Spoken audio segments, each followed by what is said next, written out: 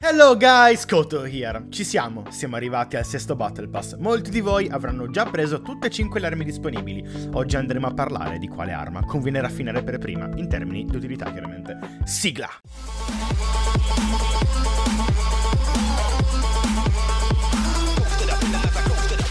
Faccio subito un appunto. Questo video è atto ad aiutare la gente super indecisa su quale arma raffinare una volta collezionate tutte quante. È normale che prima di raffinarne una dovreste perlomeno avere una copia di tutte quante. Questa è una classifica generale, chiaramente può variare a seconda dei personaggi che avete. Ma non perdiamo altro tempo e andiamo alla classifica. All'ultimo posto, ma ultimo ultimo eh, a mille mila chilometri dalla penultima, abbiamo il livelli di St. Hunt. Quest'arco ha una passiva chiaramente utility che raggruppa i nemici.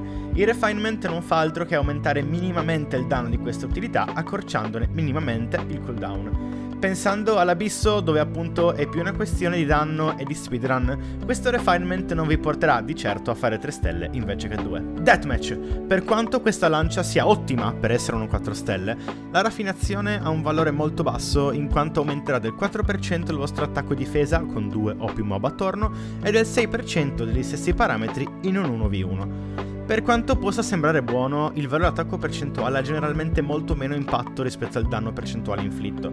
Questo dettaglio la porta quindi ad essere la penultima nella nostra classifica. Solar Pearl, un'arma molto sottovalutata, complice anche il fatto degli ottimi libri disponibili in game. La raffinazione di quest'arma ci regala il 5% di danno inflitto per entrambi gli effetti. Il buffer Elemental Skill Elemental Burst ha facilmente un uptime del 100%. Tuttavia, ciò non si applica anche alla seconda parte, dove personaggi con cooldown molto alti non riusciranno a mantenere sempre attivo il buff agli attacchi normali. Per questo motivo si aggiudica il terzo posto. Black Sword. Con la raffinazione questa spada ci regala un 5% di danno sia agli attacchi normali sia a quelli caricati. Così, a cazzo, senza clausole in ogni momento.